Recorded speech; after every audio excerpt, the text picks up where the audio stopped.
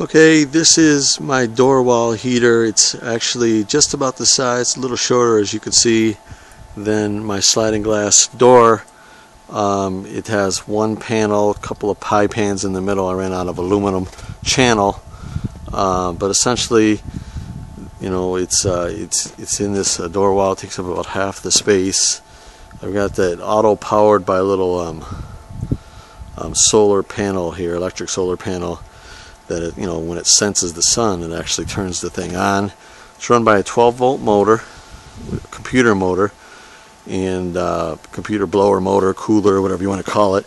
And I'm going to step inside the house here and uh, kind of get a give a better view of what that's all about.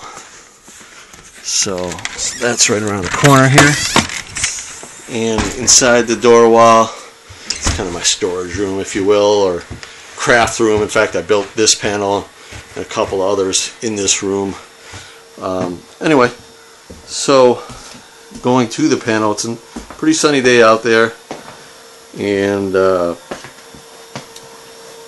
as you can see, my hand is right here, coming out toasty hot, um, and temperature coming out of there is uh, going on 130 degrees so it's pretty uh, pretty warm. Not going to burn yourself with that but it feels toasty. It's warmer than the heat coming on my heat duct the heat duct uh, you know for my house. It's 110 degrees so and it's coming out just about as hard so you can kind of see up in there that I've got a little computer fan a little hole cut the same size there you can see it. And uh, I made this little chute if you will myself out of aluminum. And just got this little fan right here kind of push it out away from the box a little bit more. This room is not well insulated and um, so it was a good room to have a sliding glass door in to put this unit in. And the temperature is 84 degrees in here. Um, usually at night the temperature would drop down to the low 50s. I've, I've even seen it drop down lower than that. So this this gives um, this room quite a bit of an increase. Um, ugly the box is. I didn't paint the back side of it. The front side is you know all painted painted glass black. Nice thing about something like this putting it inside the door wall is the fact that uh, you don't get any heat loss from it sitting outside on an angle. The bad thing is you cannot put it on the uh, on the angle that, that the sun is at. So you lose a little there, but you gain a little bit because you're not outside.